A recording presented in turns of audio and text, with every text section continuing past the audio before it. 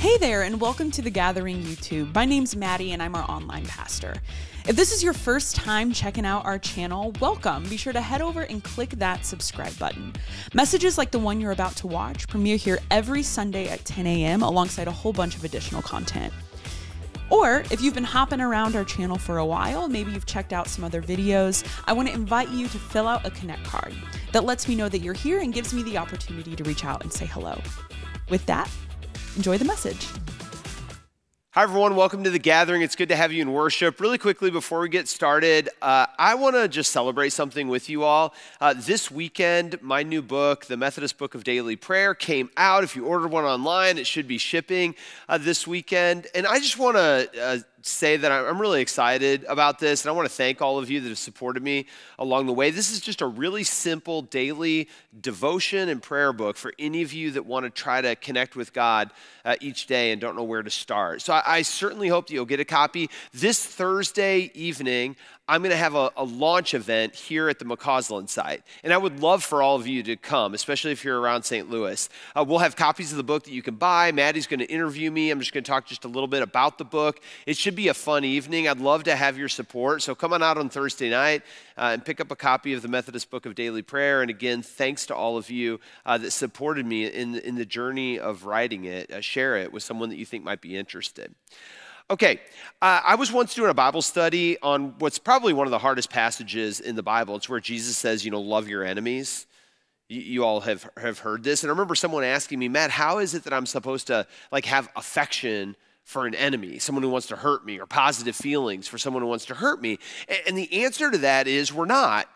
Jesus isn't asking us to have uh, positive feelings towards them or affection towards that person we get confused about this because we often think of love as like an emotion or a feeling. But when Jesus talks about love, love is an action. It's something that we do. And therefore, love is a choice that we can make about how to act towards other people, even those that we might deeply disagree with. Today, we're continuing our sermon series called One finding unity in a divided world. And if you were here last week, I talked about just the trouble with the word unity. A lot of us kind of, I'm not sure I like that. And I talked about what unity is not. I said unity is not uniformity. It doesn't mean that we're all the same. Unity is not unanimity. We don't all have to agree on everything. Unity is not union. We don't all have to be together. We can have boundaries and separateness. But then I ended last week by saying, well, what is unity then? And I defined it this way I said, unity is maintaining a posture of love across difference. In other words, unity is accomplished when we, when we make this choice to, to love even those that we di- deeply disagree with. And remember, love is a choice, it's a choice about how to act towards those that we are deeply divided from. And so today I want to flesh out how we do this. What does this actually look like? What are those practices that help us to, to love, especially those that we find really difficult to deal with in, in our lives. And to do this, we're going to just look back at Paul, that Ephesians passage and another passage in Romans.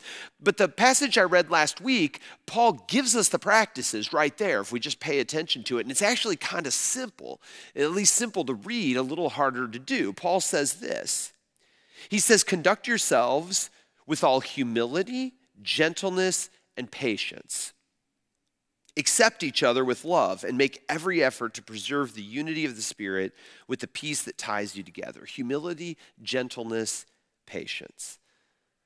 So, we're going to talk about what those mean. But before we do, here's what I'd like you to do. I think oftentimes we talk about this stuff in the abstract, but I want you to call to mind right now someone that you really struggle with. It could be a particular person in your life, a friend, a relative, family member, someone you work with, someone at school, on your team someone you see on social media. Maybe it's a category of people that you find really difficult to deal with. And for now, I want us to set aside the, the really extreme situations. I think those are something a little bit different. We'll talk about next week. But I'm, I'm just talking about kind of everyday people that we, that we really struggle with for some reason. Maybe it's political differences, value differences, the way they act. Maybe it's just someone who grates on us. So, so call a person to mind. You should be able to do this. Okay, so, so what are those practices then that allow us to better love that person that you're thinking about in your head? And as far as it depends on you, live peaceably with that person. Well, the first way that Paul says that we love across difference is, is by practicing humility. Paul writes this a little bit elsewhere about humility. This is in Romans. He says, Because of the grace that God gave me, I can say to each of you, don't think of yourselves more highly than you ought to think. Instead, be reasonable, since God has measured out a portion of faith to each one of you. We have many parts in one body, but the parts don't all have the same function. Then a little bit later, he says, Consider everyone as equals. Don't think that you're better than anyone else. Instead, associate with people who have no status. Don't think you're so smart. I love the straightforwardness of that passage. I mean, Paul's pretty clear. He says, Look, stop thinking so highly of yourselves. Associate with people who have no status. Consider other people equal. Don't think that you're, you're so smart. What is Paul trying to get at here? Well, I think Paul is warning us not to think that our perspective is the whole perspective. Not, not to think that our truth is the whole truth, that our understanding is the, is the whole understanding. But, but he even says, he says, be reasonable about this. Remember that, that God has given you a part, but maybe not the whole. And what that means is you might have a part and someone else might have a, a different part. This is humility. In, in other words, humility is an awareness that you can't see the whole picture. That's how I think Paul defines humility here. You know, I used to have a pastor who, you know, sort of humorously would ask me all the time, you know, Matt, what wrong opinion do you hold? And of course, it was a playful way of pointing out that certainly you can't see the whole truth. There must be something that you can't see. Humility is aware, an awareness that you can't see the whole picture. It's recognizing that there are limits to your own perspective. And maybe remembering that you don't hold the whole truth. This is really important. Because I think so often when we confront people that we really struggle with, that we really disagree with, that think really differently than us, we immediately jump to right and wrong. I mean, that's just how our brains work. Either or. Like, my political opinion is right, yours must be wrong. My preferences are right, yours must be wrong. My lifestyle and the way I live my life is right, yours must be wrong. You know, the, the way I parent or the way I conduct myself at school or the way that I do this job is right, yours is wrong. I mean, we do this all the time. But what Paul is saying here, I think, is just, you know, maybe humility is saying that the truth is often bigger than my perspective or your perspective. And what that means is it might be possible that this isn't a situation of right and wrong, but, but simply that each of us see a part of a bigger whole. That, that, that maybe it's not right and wrong, but instead our viewpoints are each partial. I'll give you an example. I remember years ago, I, I was uh, talking with a coworker. And this this coworker and I ha- have a good relationship, but this was sort of a, fr- a, frustrating moment. And in this frustrating moment, I was really expressing like I-, I didn't think the person was essentially working hard enough. They were leaving a lot on the table, and uh, they were falling short in a, a couple of, of areas. This person was frustrated because they thought that I had really unrealistic expectations. And here we were, like going like this. I thought I was right. Uh, they thought they were right. Well, I, I remember going home, and, and over the course of the evening, it just sort of occurred to me you know, Matt, it's possible that actually both of you are right. It's possible for, for for both of us to be right. That, that indeed, maybe the person wasn't working as hard as they could, and, and maybe they were falling short, and uh, maybe I do have unrealistic expectations. Maybe it, it wasn't a matter of right and wrong, but, but that we were each coming at this from our own unique perspective, our own unique background, and each of us was seeing a part uh, uh of the whole picture. Friends, the same can be true with some of those people that you really struggle with. Humility doesn't ask us to sort of invalidate our opinion or completely agree with the other person, but instead, humility just means being open to the possibility that maybe you're both seeing a different part of a greater whole, that, that maybe both of you have some validity to, to what you think. It's making space for the possibility that maybe the other person, because their unique background or experiences or perspectives, sees something that you can't see. So when it comes to that other person, are you practicing humility? Are you making room for the possibility that maybe they see something that you don't? Loving across difference requires humility. Second thing Paul says is loving across difference requires gentleness. And he says, conduct yourselves with all humility, gentleness, and patience. I mean, gentleness is kind of a weird word. I mean, even weirder, the Bible used to translate this as meekness or meek. I always laugh because I remember Charles Barkley, you know, the, the basketball player and now the commentator. he once said this. He said, You know, the meek may inherit the earth, uh, but they won't get the ball. In other words, we have this idea that to be meek or to be gentle is sort of to be submissive or weak, letting other people walk all over you. It can mean not speaking up or refraining from using your voice. It doesn't seem virtuous, it actually seems dangerous, especially you know, when we thrust it upon people who haven't traditionally had a voice. But again, this is a misunderstanding. Gentleness is not about staying quiet, but it's about how you use your voice. Gentleness is not uh, about being powerless, it's about how you use your power. It's about how we express what it is that we feel and think. Listen again to Paul in Romans. He says this He says, Bless people who harass you.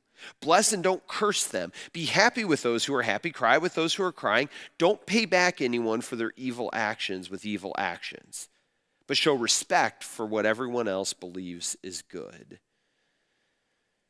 Again, easy to, to listen to, really difficult to do. But, but gentleness, at least for Paul, is literally, he says, refraining from cursing those that we disagree with.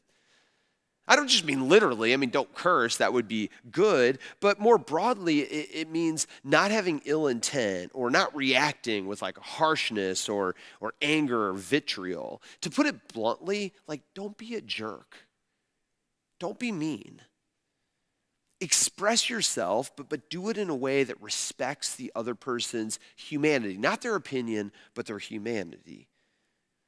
And do this even if they're not showing you the same respect. I think that's key here. You know what Paul says is you don't have to treat someone else the way they treat you.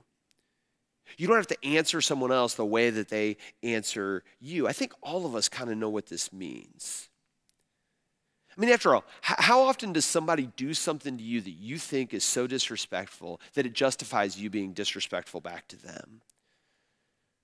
Or, or how often is it that someone's mean to you and it kind of gives you permission to be mean back to them? Someone yells at us, we feel permission then to yell back at them. Someone acts childish towards us, we feel permission then to, to act childish back towards them. And gentleness, I think for Paul, is refraining from this sort of tit for tat kind of behavior. You did this to me, I'm going to do this back to you.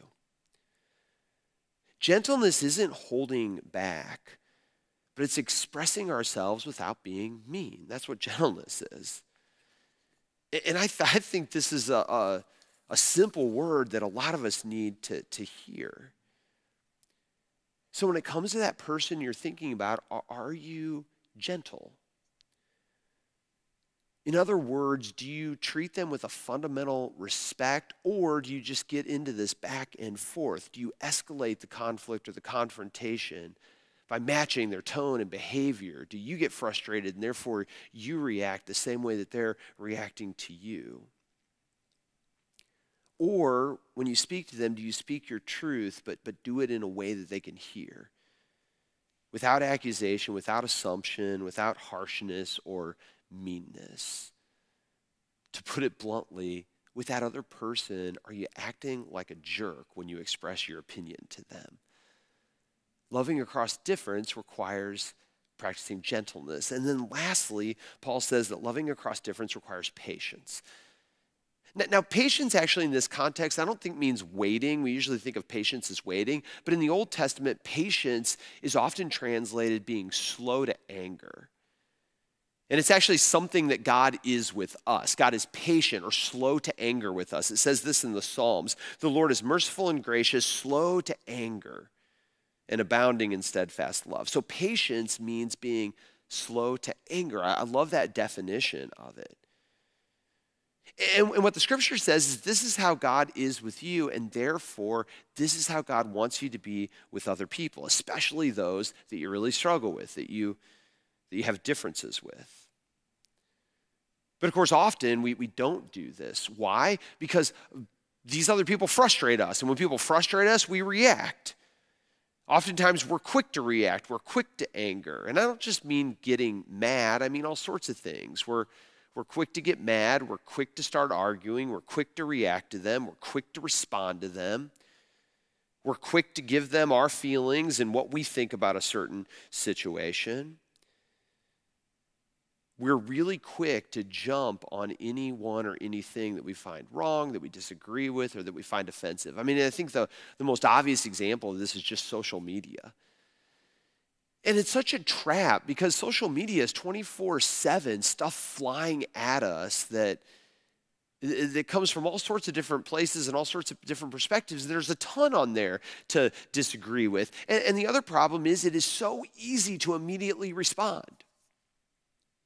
That's why a lot of you know that I have like a 24 hour rule. When, when someone says something to me or puts something out there that I find really tough, really disrespectful, that I really disagree with, that I think is really dangerous, uh, I try not to immediately respond. I try to give myself 24 hours before I respond or react to that thing. And that's about patience, it's about being slow to, to anger or to react in a way that might not be best. Slowing down gives you space, right? It gives you space to consider what to say. It gives you space maybe to calm your emotions. Patience might give you a, kind of a greater perspective.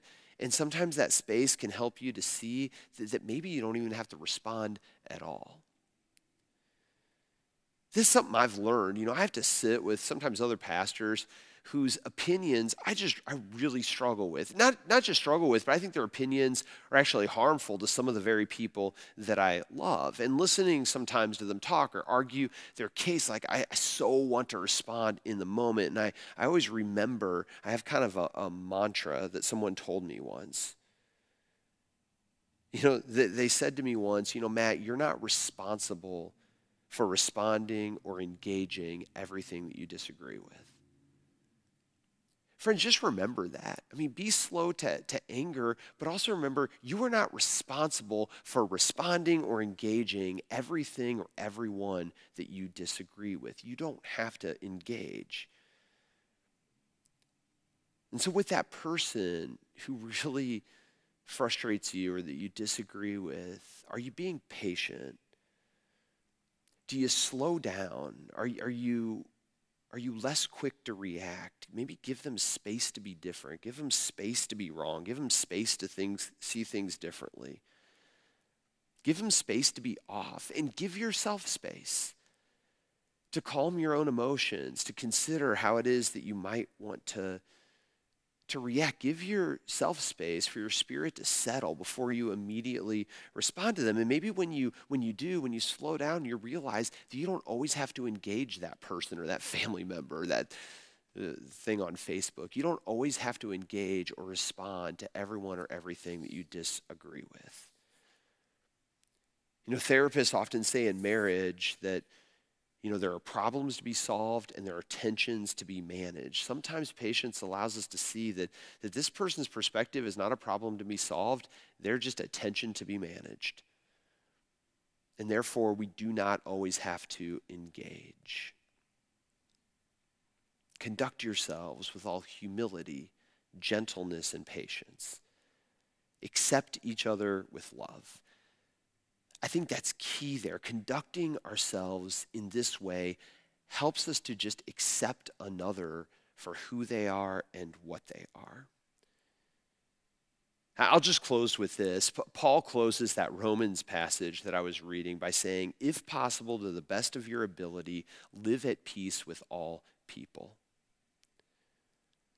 I'll close with this thought. I remember Desmond Tutu. Some of you know that he was my professor. He, he had to live with, with deep people who he had deep, significant differences with. And, and I remember him saying something to the effect of love takes courage, love takes work, but love is a choice we can make even with people that we deeply disagree with. Unity is maintaining a posture of love even across difference, not a feeling, not an emotion, but it's a certain way of acting with those that we disagree with. And it includes humility, remembering that, that maybe we each are seeing part of a greater whole. It takes gentleness, just not being a jerk, not being mean. It, it, it requires patience, being slow to anger, and remembering that we do not have to immediately react or, or maybe respond at all to everything that we disagree with.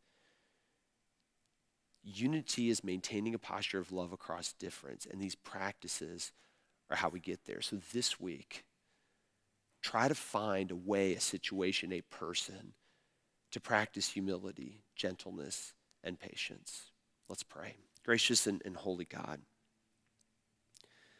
I, I know that there are people in our lives that just really get under our skin. They really frustrate us. Maybe they're even really hurtful or their opinions uh, cut uh, against our very uh, being. But God, help us. Help us to reflect on your wisdom, which says it is possible to love them, not to like them, not have positive affection for them, but, but to act in a, in a loving way, even across differences. So, God, just help us this week. Help us to, to find a way to, to be humble to be gentle, to be patient. And as we do, God, I pray that, that we would feel a greater sense of peace, even in the presence of people that, that we disagree with or dislike. I pray these things in Jesus' name. Amen. Thanks for checking out our message. Before you go, be sure to head over to our channel and click the subscribe button. And if you liked the video, feel free to share it with a friend. Invite them to come and watch with you. If you have been checking out our channel for a little while, I also want to invite you to fill out a Connect card. I would love the chance to reach out and say hello. Now, every time we gather together, either in person or online, we celebrate in a moment of generosity as a church. We believe that when we're generous with what we have, we both leave ourselves open to what God wants to do in our life and we get to participate in what God is doing in the lives of others. If you're interested in learning more about our church and the way we support our community and beyond it, you can head to our description and check out our website. The ways to give are going to be up on the screen as well as a link in our description, and I want to invite you to participate in that now. And friends, with that, that's the message. I hope you enjoyed it. If you're interested in listening and singing along to the Gathering Worship team, you can find those videos as well as a virtual communion experience on our channel's homepage. Until next time, go in peace.